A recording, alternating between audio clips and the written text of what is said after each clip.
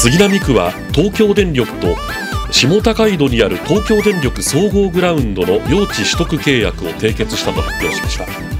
土地の面積はおよそ4万3000平方メートル。土地の取得金額は59億8080万円で杉並区の担当者は適正価格で土地取得ができたと話し今後の利用法については具体的にはまだ何も決まっていないとしています。